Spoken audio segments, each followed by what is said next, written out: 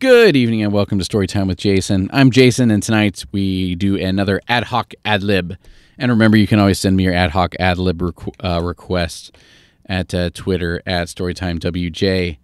For these three items, we have three words. I mean, we have first word is finance, like dealing with money, and then write it down. And then the second word is raft, like uh, like a sort of boat or small craft that goes on the water. Okay, whitewater rafting, Robinson Crusoe raft, things like that. Um, and then crow's nest. Yes, like a crow's nest where he lives. Um, then the random name generator.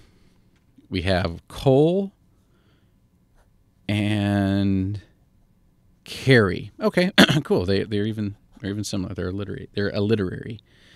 All right, cool. So crow's nest, raft, finance. Um, got it. Okay. So one day, Cole the crow was sleeping in his crow's nest, and when his good friend Carrie, who happened to be a robin, oh, sorry, things are falling over on my desk. Um, okay, starting that over. Once upon a time, Cole the crow was asleep in his crow's nest, and his good friend Carrie, who happened to be a robin, fluttered up, and Carrie said, "Cole, Cole, Cole, wake up!" And Cole rubbed the eyes, rubbed his eyes with his you know, feathery wings, and said, "Yeah, what, what's going on, Carrie?" And and she said, "Oh, we have to go uh, take this raft down a river. I found a treasure map, and it has where a uh, where a secret treasure is buried." And Cole's like, "Well, why don't we just you know, fly there?" And she said, "No, no, it doesn't work that way. We have to take a raft into a cave." And no, now by now Cole was starting to wake up a little bit and you know shake his feathers and stuff like that. And he said, "But Carrie, why are we going? Why why aren't the humans already doing that? Because the humans have a lot better rafts than we birds could you know, ever build." And she said, "No, no, no. This water is it, it's in a in a cave, and the cave is very very small. That only we as birds can build a raft with sticks that are just right to fit in there and to go get this big treasure." And Cole, who's already up for an adventure, said, "All right, cool. Let's let's go ahead and build a raft." So they fly off together and they go to the side of the lake.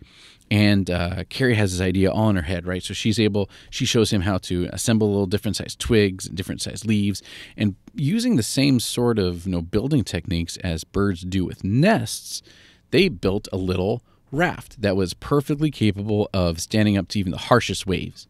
So then, um, after uh, after they're all set um, and they, they decide they're going to paddle with their feathers instead of using uh, instead of using oars, which I, I, mean they're birds, so they can do what they want. Um, they went ahead and set off down the river, and the waves were splashing. They were up and they were down, and water was coming over, and they kept, you know, needing to do like with the birds, like ruffle their feathers and stuff to get the water off and things like that. And but Carrie knew exactly where they were going. She's like, "Go left, go right, go left," and they were going all around the water. And then they see us uh, from what uh, Cole saw because he was sitting in the back and Carrie was sitting. Carrie was sitting in the back and she was steering.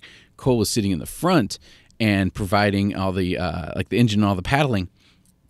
Carrie said, "Cole, Cole, steer right, steer right." And because they were birds and they're really small and they're really down to the water, all Cole could see is a big rock. He didn't know what was at the base of the rock. It could have been a cave, it could have been nothing, but he trusted Carrie, and so he went ahead and paddled and paddled and paddled, and they sailed right up to the rock. And then the waves went up, and then as they as the waves went down, it went down the backside of the wave. Cole saw this little hole at the base of the rock. And Carrie said, That's it. That's where it is. Let's go. And so they all paddled really, really, really hard and they went into the uh, the little cave that only a bird and a bird raft could fit in. And I don't know if you've ever been on a water slide before, but this was like the best water slide either the birds had ever been on. Suddenly uh, they start going really fast and they were zooming this way and that way and, and, and the world was turning and all the rocks and stalactites and stalagmites were coming out and they were rushing water all around them. And they were like, oh, this is so cool. And then the uh, right when uh, they turned this corner, uh, all Cole saw was a big wall rushing right at him, and he was about to try and put on the brakes, but they were going so fast in this water. And then, right before they hit the wall, whoosh, they just went over this waterfall. But because they're birds, they were able to flap their wings and they both took off and they started flying around in this underwater in this underground cave and they watched where their little birdie life raft or little birdie white water raft fell down and just smashed on the watery rocks below so the bird went down and they landed and what did they find? But in this cave was full of gold bird seed. It just messes glittering with gem bird seed and gold bird seed and silver and diamonds and all these jewels but it was all the perfect size for a bird to pick up in their beak. And then um, uh, they're like wow we're going to be rich. We have all this thing. We, we we have perfect financial there's that third word we have perfect financial stability now which if you're wondering what financial stability is talk to uh, an adult who you trust and they'll tell you about financial stability but they were super excited because now they had all the money they needed. They just needed to figure out how to get it out of the cave. And uh, and as Cole was looking around on the floor of all the gold birdseed, and he was wondering how they're going to ever ever fly back out where the way they came because they needed the raft, but the raft was broken. Uh, Carrie went ahead and took her wing and patted and tapped uh, Cole on the shoulder and pointed up with her wing towards the ceiling.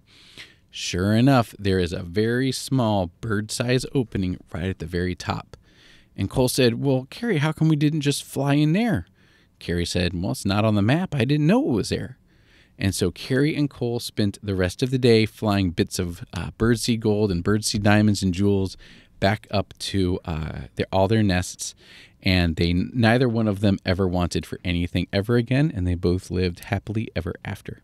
The end. well, I hope you enjoyed the story. Have a good night.